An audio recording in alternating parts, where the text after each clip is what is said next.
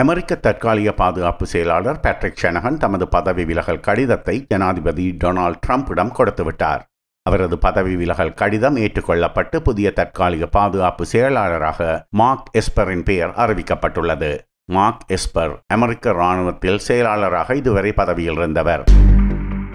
அமெரிக்க பாதுகாப்பு இலாகாவில் மிக முக்கியமான விஷயங்கள் நடைபெறும் நேரம் இது. ஈரானுடன் அமெரிக்கா பல விஷயங்களில் முரண்பட்டு கொண்டிருக்கிறது. அமெரிக்க இராணுவம் மேலதிகமாக ஆயிரம் பேரை மத்திய கிழக்குக்கு அனுப்பி வைத்துள்ளது. எந்த நேரத்திலும் எதுவும் நடக்கலாம் என்ற நிலை. இப்படியான சூழ்நிலையில் அமெரிக்க இராணுவ தலைமையகம் பென்டகனின் தலைமை பதவியில் இருந்த பேட்ரிக் ஷனகன் அங்கிருந்து வெளியேறுவது சில குழப்பங்களை ஏற்படுத்தப் போகிறது. பதவி விலகல் முடிவை பேட்ரிக் ஷனகன் தாமே சொந்தமாக எடுத்தார் என்று கூறியுள்ள அமெரிக்க ஜனாதிபதி டொனால்ட் ட்ரம்ப் தாம் அவரை பதவி விலகும்படி வற்புறுத்தவில்லை என்றும் கூறியுள்ளார். பேட்ரிக் ஷனகனின் பதவி விலகலுக்கு காரணம் அவரது முன்னாள் மனைவி தொடர்பான தனிப்பட்ட அவரது குடும்ப விவகாரம் என கூறப்பட்டுள்ளது. அமெரிக்க பாதுகாப்பு செயலாளராக இருந்த ஜிம் மேட்டிஸ் ஜனாதிபதி டொனால்ட் ட்ரம்ப் எடுத்த சில முடிவுகள் தம்மால் ஏற்றுக்கொள்ளப்பட முடியாதபடி உள்ளதாக கூறி பதவியை ராஜினாமா செய்வதாக அறிவித்தார்.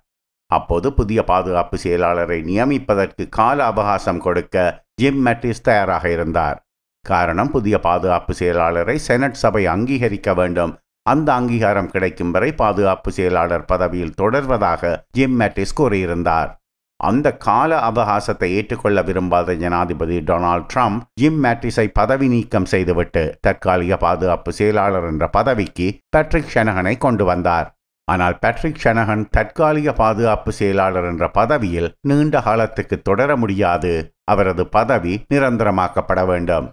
இதுவரை அமெரிக்க வரலாற்றில் நீண்ட காலம் தற்காலிக பாதுகாப்பு செயலாளர் என்ற பதவியில் தொடர்ந்தவர் பேட்ரிக் ஷனகன் என்ற போதிலும் அமெரிக்க செனட் சபையின் அங்கீகாரத்தை பெற்று அவர் நிரந்தர பாதுகாப்பு செயலாளராக மாறியே ஆக வேண்டும் என்ற நிலை ஏற்பட்டது. ஆனால் அவர் அந்த அங்கீகாரத்துக்காக செனட் சபைக்கு முன் போகவே இல்லை. காரணம் அவருக்கு மற்றொரு சிக்கல் இருந்தது. அது என்னவென்றால் அமெரிக்க உள்ளக உளவுத்துறை எஃபிஐ பேட்ரிக் ஷனகனின் பின்னணியை ஆராய்ந்து கிளியரன்ஸ் அறிக்கை கொடுக்க வேண்டும். அந்த அறிக்கை தமக்கு சாதகமாக இருக்காது என்பது பேட்ரிக் ஷனகனுக்கு நன்றாகவே தெரியும். ஏன் சாதகமாக இருக்காது? அதற்கு காரணம் ஒன்பது ஆண்டுகளுக்கு முன் நடந்த ஒரு சம்பவம்.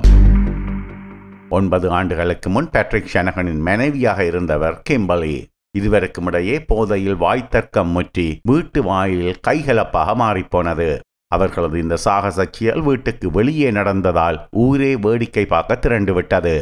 விவகாரம் காவல்துறை வரை சென்றும் விட்டது. இவர் தமது முன்னாள் மனைவியை வயிற்றில் குட்டினார் எனவும் அந்த அம்மையார் இவரை பல தடவைகள் மூக்கில் குத்திவிட்டார் என்றும் வழக்கு பதிவானது. அமெரிக்க உள்ளக உளவுத்துறை எஃபிஐ பேட்ரிக் ஷனகனின் பின்னணியை ஆராய்ந்தபோது இந்த விவகாரம் வெளியே வந்துவிட்டது. அமெரிக்க பாதுகாப்பு தலைமையகம் பென்டகனுக்கே தலைவராக உள்ளவர். தமது முன்னாள் மனைவியை நாலு தட்டு தட்டியவர் என்றால் அமெரிக்க செனட் சபை அவரை பாதுகாப்பு செயலாளராக அங்கீகரிக்குமா? நிச்சயமாக அங்கீகரிக்கப் போவதில்லை. இதனால் அவராகவே ராஜினாமா கடிதத்தை கொடுத்துவிட்டார். பேட்ரிக் ஷனகன் அமெரிக்க பாதுகாப்பு அமைச்சு பதவிக்கு வருவதற்கு முன் அமெரிக்க விமான தயாரிப்பு நிறுவனம் போயிங்கின் தலைமை நிர்வாகிகளில் ஒருவராக இருந்தவர். அவர் மீண்டும் போயிங் நிறுவனத்துக்கு போவாரா என்பது சரியாக தெரியவில்லை.